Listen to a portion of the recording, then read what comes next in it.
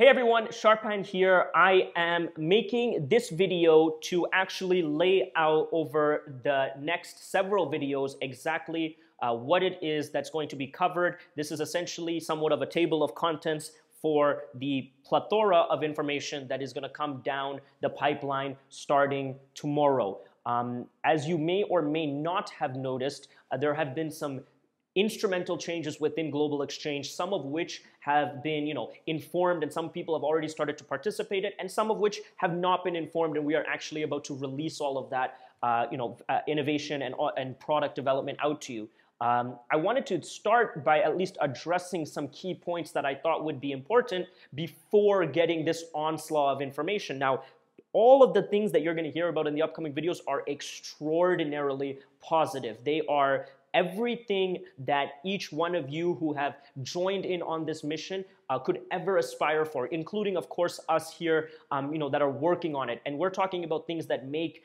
uh, the life of the broker simpler. We're talking about things that make the life of the mass market customer simpler. We're talking about opening up new markets as a potential for expanding revenue streams from a broker perspective. And we're talking about, of course, the value of the GX token, which underpins this entire system. And so that is going to be the, the majority of all of those videos. But I did want to take this kind of uh, precursor video to address the notion of, or to address kind of what global exchange is today. And I would really love for like this video to be watched now and in the future by anybody who has not been able to come to a clear consensus on what that is. Because what I hear a lot um, A, um, from just observing, but B, mostly from different parts of the global exchange ecosystem bringing it to my attention, is that it's very difficult to kind of explain global exchange. And actually, recently, most of the kind of feedback I've been getting, it's difficult to understand global exchange, and that you know that we keep pivoting or that we keep um, you know adding new elements to our uh, business that that are difficult to kind of put into one box. And so I think that that needs to be addressed at a fundamental level, and that's what I hope to do with this video. In other words, this is a video saying, what is Global Exchange updated July 1st, 2020? And I think that this is a really really important video for anybody who's getting involved in global exchange to watch just so that you have at least an understanding of what we think global exchange is. Let me start off by talking about what global exchange never was and never will be. Global Exchange never was and never will be a monolithic solution that is going to try to continuously incrementally improve a substrate of the cryptocurrency economy. That was never our MO. Anybody that saw us, even at the inception of our business, would be able to calibrate that that has never been our modus operandi. We are some, we were a company when me and Warren started that looked at cryptocurrency as a jigsaw puzzle, as something that needed to be put together. Now, we are extraordinarily, let's say, ambitious, arrogant entrepreneurs for thinking that we are the people that could do that. But I think that's the makeup of anybody that thinks they can reconstitute such an important, fundamental secular trend such as cryptocurrency. So, with that being in mind, when we hear feedback that along the lines of, well, this company does this better, or, or you guys don't do this particular thing as well as you could, we of course would love to not have those. We would love to be the best at everything, but that's just fundamentally not possible. And not only is it not possible, it's not even what we want. Uh, it's not our goal to be the number one e transfer solution for buying crypto in less than 30 milliseconds in Vancouver, British Columbia, Canada. No, there's a company that does that. Fabulous company. You should go look for that solution. We, from day one, have made it clear that we are an operating system. I said that before I even had a grasp on what that could even mean in the cryptocurrency space. We obviously understood what an operating system was from a computational perspective because it underpinned the computer revolution both in, you know, closed environments like Microsoft and Apple but also in open source environments like Linux. So we had a grasp on that. We had a grasp on where the cryptocurrency industry was at the beginning of 2018, 2019. But putting those two concepts together was going to be a tremendous amount of trial and error. What we knew and what we are trying to accomplish is that in order for cryptocurrency to be a mass market asset, not a mass market currency, although it could metamorphosize into that, not a mass market technology, although it could metamorphosize into that. A mass market asset, it needs a new way to engage with it. Now, is part of engagement onboarding? Of course, I would say it is one of the prerequisites of engagement. And hence, we are incentivized and have always been incentivized to work on that element. But that's not our main element. If we were a restaurant, that would not be what we put as the prize menu item, even if that's what the current cryptocurrency market yearns for. Because the current crypto market, currency market is small. I'll tell you how small the current cryptocurrency market is. If you take I don't know if any of you guys have kids or maybe you guys are all young in nature just watching this. Uh, there are these video games both available on mobile and on desktop. I'm sure you've seen some of them, heard about them. Every, the most popular one, let's say, is Fortnite, but ranging all the way to, to average games, a couple people just playing some obscure part of the world. All of those games have the way that they make money because they're free on the app store is they make money by selling in the in, in-app purchases in other words they'll sell shirts for the characters swords guns soccer balls whatever it is the secondary market for trading iOS and Android game skins is bigger than cryptocurrency on every given day since uh, 2018. That means a bunch of kids, I mean, I can't call them kids, a bunch of people who find it valuable to resell shields are more economically influential than every cryptocurrency so called investor, whale, developer, entrepreneur, marketer. That gives you an idea of where we are at. And we're cognizant of that. So we're not sitting here looking like, hmm, how do we uh, monopolize this market? Because this market is staggered with issues.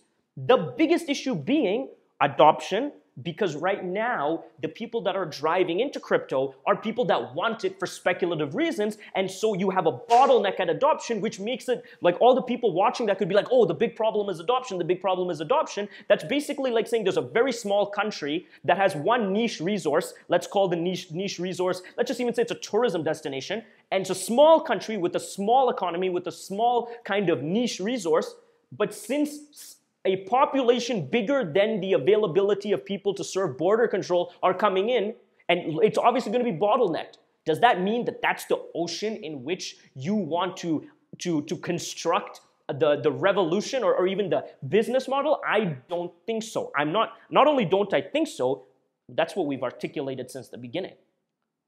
We know that in order for us to get to where we want to, crypto has to get to where it wants to. And although no one person can speak for kind of the, the, the amalgamation of sentiment behind cryptocurrency, I think all people that use cryptocurrency have some relevance to thinking that this is a superior medium, maybe not by much, maybe not absolute terms, but some superiority to the current asset class or current financial system that they're enjoying or not enjoying. Okay, okay, that's great. That's something to build on. Again, what is the point of looking at something where it's a clear-cut problem in adoption onboarding? There are thousands of companies trying to solve that problem. Thousands. They're all very great. Some of them are as big as Coinbase. Some of them are as small as the, your next door neighbor trying to sell you Bitcoin. They're both solving the adoption problem. They're both making it more feasible for people to get access to coins. They're both doing what they see the market to demand of them. And then, of course, there are companies, protocols that are looking at this and saying, wait a minute, this is going to be huge. I mean, nobody knows when, but this is going to be huge. In order to get there, you must not only satisfy the immediate short term desires of a couple people who can't get crypto or can't sell crypto, you have to develop a demand structure for crypto. In other words, you sell water bottles because it's there's an environment that makes people thirsty. You have to navigate there. You have to have a role in being at that environment. And then, of course, selling water bottles is a natural result. You can also sell antiperspirants at that point. You can sell a bunch of things. But right now, it seems to me that everybody is looking at the cryptocurrency market and be like, oh, Look at all these people that want to buy Bitcoin for speculative reasons. Let's let's create the fastest Ferrari to get them to that. Okay, that's great. And I'm I admire the companies that do it. And as you're gonna see in the follow up videos, we do that. We don't just do that okay, we do that exceptionally well. Do we do it as well as even I want to or you guys want to? No. Flat out, the answer is no. But trust me, I'm gonna release a Venn diagram as well as a rubric that shows you company for company what's the process, the time, the cost structure, the KYC requirements for just that one part of crypto, which is onboarding, which I'm trying to use in this video as an example of that's not even what the big market is. I always said when there's a gold rush, don't dig for gold, build shovels. And I took that, I mean, I expressed that in my early conversations about global exchange, addressing, addressing the exact thing that I'm now saying is only a part of the gold rush. Because I used to say that like, if everybody wants crypto, the best thing you could do is become a broker and get them crypto. I still hold very true to that statement. That's absolutely true. But if you can now conceptualize for one second that if that is even remotely close to being a reality, that we've provided people with a vehicle to actually be a shovel salesperson, the next thing you guys got to do is figure out how to instigate further gold rushes. The biggest gold rush in cryptocurrency was 2017. Unless you live in a bubble, nothing wrong with living in a bubble, I live in a bubble of my own, but unless you live in a bubble, newsflash, nobody cares about crypto like they did in 2017. I'm telling you that as someone who lives and breathes Bitcoin. Not, not even like, I, I don't think that there's anything I've met in my life that I have as much admiration for as Bitcoin. So I'm not saying that as a con. I'm not saying that as a representation of my erosion of belief. It's more saying this is a process. I signed up to crypto to be a part of that process. I didn't sign up to crypto a la a immediate notion of a bunch of people asking me to sell Bitcoin. Although I think that's a viable reason to sign up as well. I'm just saying that in that, in that domain, in the domain of getting people crypto via global exchange, which is always going to improve. And let me tell you something, it'll never be as good as anybody wants. Do you know why? Because as soon as we break a mold, guess what? This is what I love about customers. They don't appreciate it. They want it faster, cheaper, better. And that's great. That's what a customer is supposed to do. So we're never going to meet your expectations, I assure you. And we're going to continue improving, I assure you. But if that's a possibility, if it's a possibility that for the first time in crypto, you can send someone to what looks like an agnostic platform, control the fee structure for the hard work that you did to onboard them, manage that transaction offline, and get rewarded in the backend for every asset on that platform in any direction by yourself, if that's a possibility, and we can double check if it is, now you can wait for us to make that simpler and simpler. And I'm gonna do a video talking about why it's gone simpler and simpler within our platform, as well as why it's gone simpler and simpler in the world. And what you're going to realize is, oh, there is something bigger going on here not just in crypto, but inside of global exchange. What I thought was a monolithic answer to short term demand, which it is, is also a vehicle to inspire the usage of crypto across fields and industries that would have never been possible.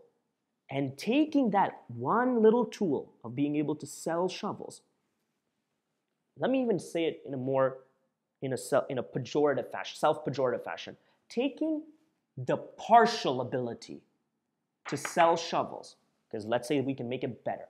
And you'll hear about, you'll, if you watch the other videos, you'll see why it's just about to become as easy as day. I mean, easy as minute rice. Although I don't know that I'm capable of even making minute rice. But um, uh, you will see that if you have that tool, that the greater opportunity here is not to focus in on that tool, because let me tell you something. As soon as our next version of, can't, I'm not, I'm trying not to kill the secret, but here, as soon as what we're going to talk about in the video as it pertains to just the simple onboarding of crypto comes out, your role your the global the power of global exchange shifts from it being a big accomplishment to get Bitcoin by a global exchange or by anybody to making it it's relatively mediocrely simple. Like it's not as simple as going and buying croissants, but it's it's not like buying, you know, like some insanely complicated piece of hardware that's only made in one part of the world or something. It's it's relatively it's like buying some some commodity that requires education. We are going to make it that. We've made it that. And then let me ask you a question. When anybody can do it, when any customer can do it by themselves, without you handholding or without us handholding, doesn't that mean that the value proposition that you bring to the table now has to change? Because I've always articulated something that I don't think even I have appreciated, but I know that other people have not fully appreciated. The pendulum will swing in crypto, inside a global exchange, to where it's no longer a feat to get someone Bitcoin. And when it's no longer a feat, they can do it themselves. And when they can do it themselves, you now need to expand your market and look at building other propositions with the tool underpinning it. Global exchange has to look at crypto that way. We have looked at it that way. We've taken our technology and we've open sourced a lot of it. We'll talk about that. We've taken our technology and made it available as a programmatic service so other platforms can also enjoy it. Do you know why we've done that? Because we realize access let me repeat this again. Access is much better than utility in a market that nobody understands and that nobody cares about. Once everyone understands it and everybody cares about it, utility becomes the most important. And that right there is where we stand today, July 2020.